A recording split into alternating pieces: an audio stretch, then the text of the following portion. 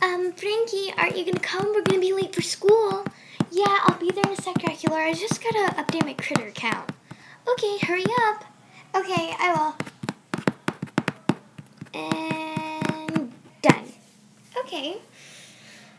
So I got ready, I'm dressed, I got all my homework, and one more thing. Before I do anything else, like, let me take a selfie. Took a selfie!